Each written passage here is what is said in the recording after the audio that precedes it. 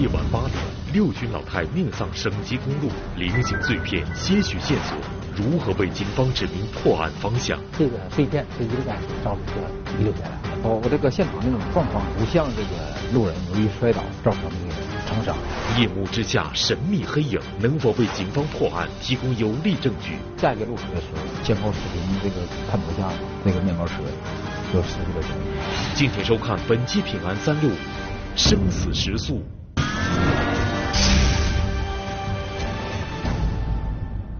大家好，我是辽宁省辽阳市交警高伟汉。我现在所在的位置呢是辽宁省辽阳市的沈阳公路。二零一五年十二月九号晚八点二十七分，就在我身后的公路上，一名六旬妇女倒地，旁边还留有一大滩的血迹。发现伤者头东脚西，仰卧躺在这个道路的南行车道内，身体躯干部位压在这个机飞分道线附近。现场血迹的面积大约在零点五乘零点三米左右。初步考虑呢是一个颅脑损伤造成的那个患者死亡。由于在死者身上没有发现任何身份证件，警方只得通过肉眼观看，初步判断此人为一名六十岁左右的妇女。据了解，事发路段为一条省级公路，周边人烟稀少，而在事发的晚上八点左右，车流量又很大。那么，这么大岁数的一名妇女，怎么会惨死在这样一条省级公路的机飞分界线上呢？在现场呢，仅仅遗留了两个比较破碎的雨刮器片的碎片，以及少量的玻璃的碎片。有雨刮器放来了，别的没。雨刮器还坏了呢。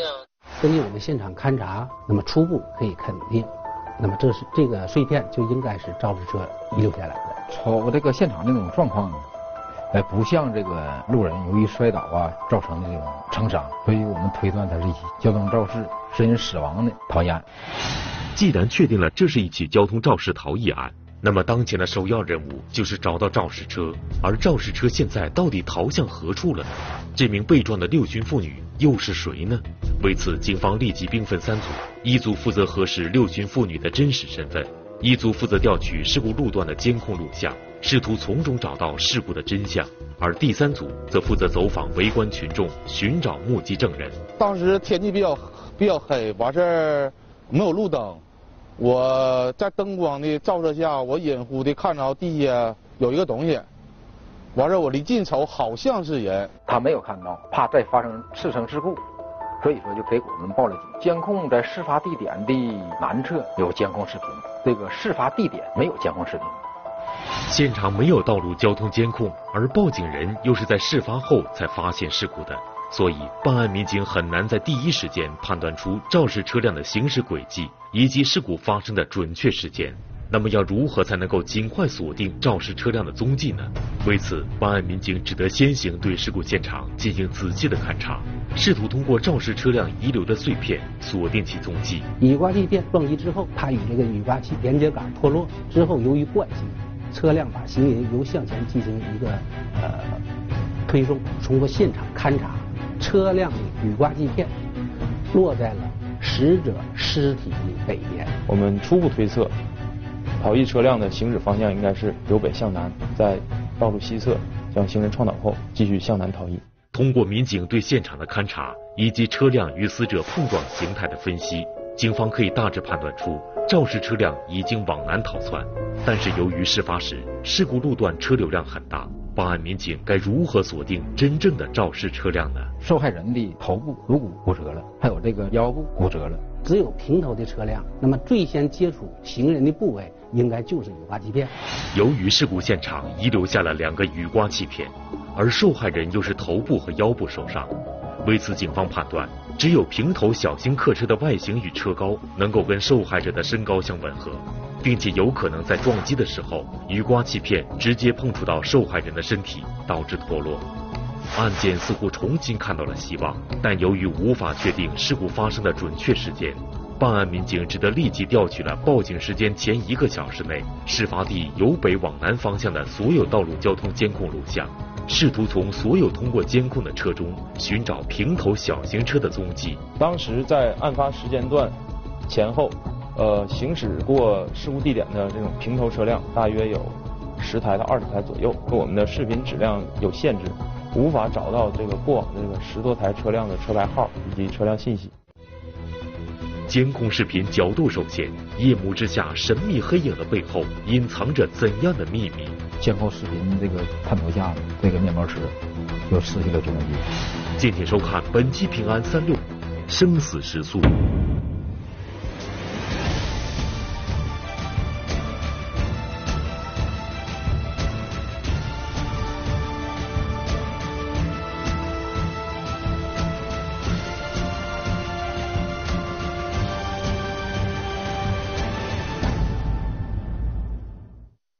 由于监控视频的角度问题，警方无法立刻从视频中锁定真正的肇事车辆。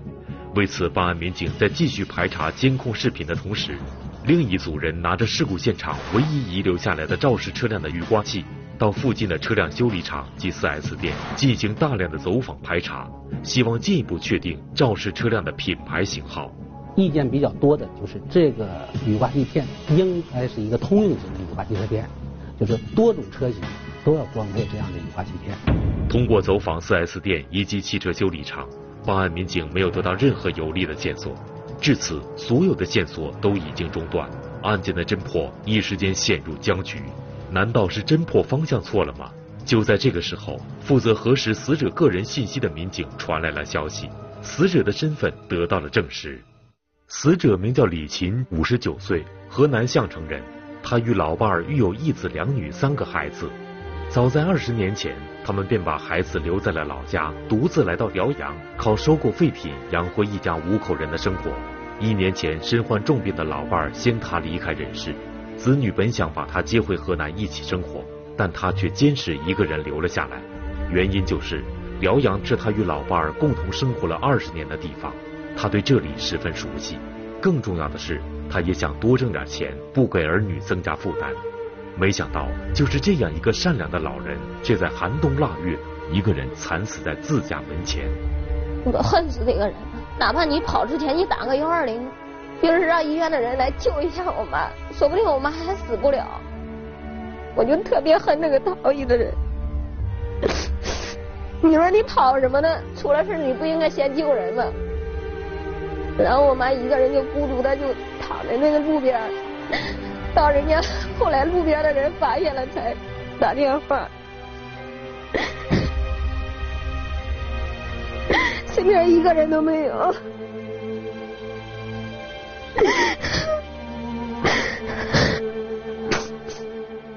面对着死者家属的痛苦与愤怒，办案民警只有尽快破案，才能还死者一个公道。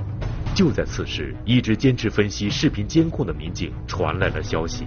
在侦查员这个这个走访的过程当中啊，在他这个废品收购点内，我们发现了两处监控探头，发现死者在当晚案发时间八点半左右，从他的废品收购站院内锁门向外行走，所以我们确定了他这个肇事时间是在在他锁门之后横过马路的过程当中。我们初步可以锁定。呃，肇事时间应该在八点半之后一到两分钟之内。确定了事故发生时间，民警立刻缩小范围，仔细查看在可疑时间段内的所有监控视频，果然有着新的发现。在案发地点上游三百米附近的的监控视频中，有两辆车先后通过这个监控视频。微型面包车在前面，重型面包车在后面，他俩大约相差了一百多米。而在事故发生地。逃逸方向的监控视频当中，这两辆车在驶出视频的时候，前后顺序发生了调换，并且呢，中型面包车通过视频之后，长达一分钟之后，这个微型面包车才再次出现在这个逃逸方向的视频当中。在事发前的监控中，微型面包车明明行驶在中型面包车的前方一百米，但为什么在事发后的监控中，它与中型面包车的位置却发生了变化呢？而且为什么在中型面包车通过监控一分钟后，微型面包车才出现呢？在这一分钟内，到底发生了什么呢？大约在这个肇事地点。呃，往南大约在两公里左右一个定路口上，我们通过这个视频呢，就是看到一有一台微型面包车停到了这个路边一个比较隐秘的地方，并且期间在过往车辆行驶过这辆车大灯晃照的过程中，发现在这个车的周围有一个人影在围着车在不停的走动。下一个路口的时候，呃，监控视频这个探头下呢，这个面包车就失去了踪迹。线索中断，垃圾场内一块破损碎片又将案情引向何方？能不能是这个照嫌疑车辆留下的碎片？敬请收看本期《平安三六五》，生死时速。肇事车辆现在到底会在哪里呢？为此，办案民警试图将所有线索重新规整，进行再次分析，最终决定亲自沿着肇事车辆的行驶轨迹开一遍车，试图在沿途中寻找蛛丝马迹。在案发后的第三天清晨，我们在他停车的位置的绿化带内找到了少量的玻璃碎片。这时候，我们就几个同志啊就分析，哎，能不能是这个肇嫌疑车辆？留下的碎片。有了这一发现，办案民警立刻对环卫工人进行了仔细的询问，了解到当时扫走的大量玻璃片已经清理到了附近最大的垃圾场。为了不放过任何一个线索，随后办案民警火速赶往该垃圾场。但是当民警到达之后，才发现情况远比他们想象的要复杂得多。该垃圾场的大小有半个足球场大。而且工作人员也表示，已经过了一天的时间，前一天的垃圾被清理掉的可能性非常大。要想在如此大的一个垃圾场内寻找一小块破碎的玻璃片，简直就是大海捞针。但即便是这样，三个负责取证的民警还是抱着万分之一的希望，忍着臭气熏天的味道，拿着小钩子、小铲子，开始亲自翻垃圾。经过了五个小时的寻找，终于有了新的发现。通过一上午的寻找，最后。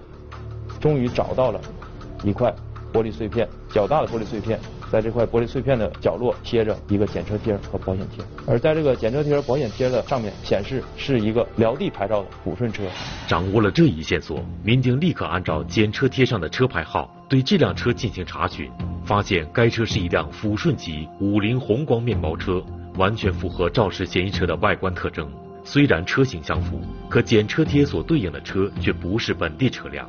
为了进一步确认该车是否就是肇事车，民警立刻调取了该辆车的进出城时间，果然有了突破性的发现。这台车在事发前半个小时左右进入我们辽阳，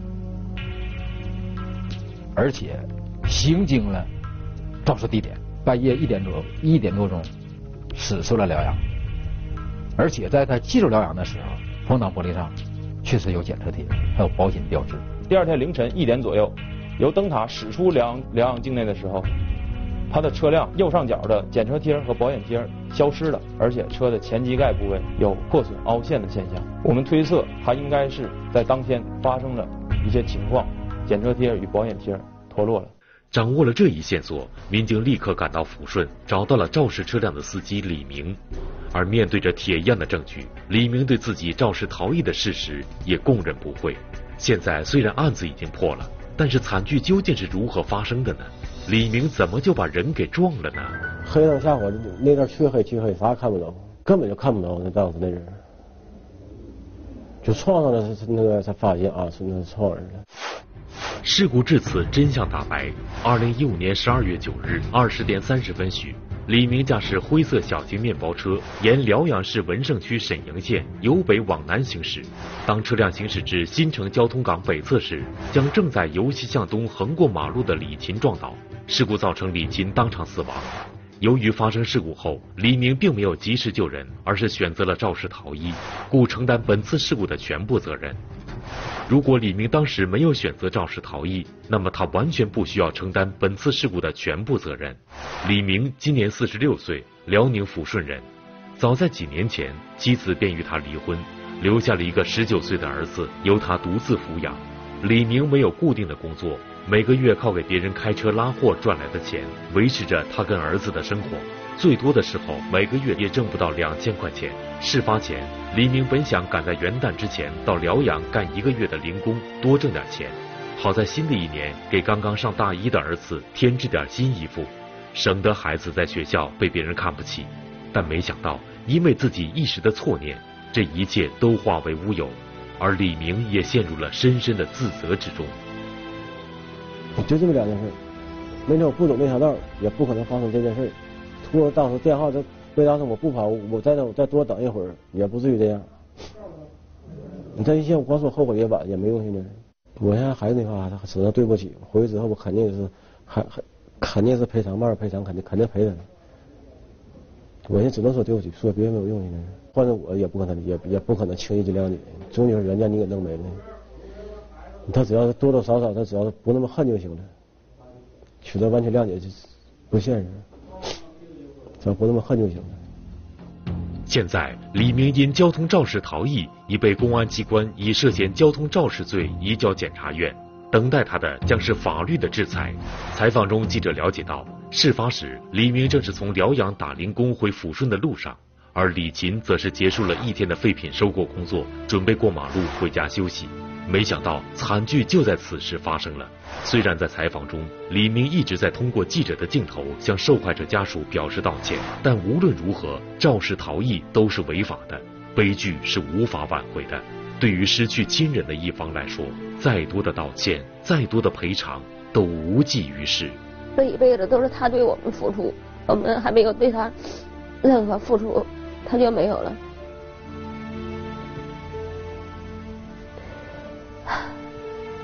我就希望我妈到了另外一个世界，不要那么累了，不要干了。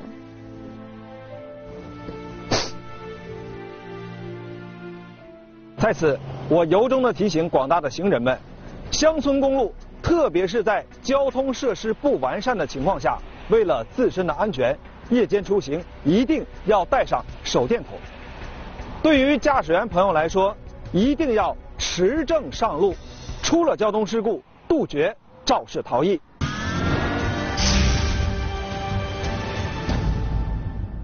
这是发生在江苏省南京市渡河区的一起事故。二零一六年一月二十五日十九时二十五分许，赵某驾驶电动三轮车沿渡河区雄州街道龙池路由东向西行驶。与此同时，王某驾驶小轿车沿宁定公路由北向南行驶。当两车行驶至十字路口中间时，发生了碰撞。随后撞上正在等红绿灯的曹某的小轿车，事故造成赵某受伤，三车受损。事故是由于赵某闯红灯，且王某驾驶的小轿车未符合安全技术标准，以至于不能及时做出制动措施造成的，故赵某承担本次事故的主要责任，王某承担次要责任。在此，平安三六五提醒您：车辆在途经十字路口时，一定要按照交通信号灯的指示通行。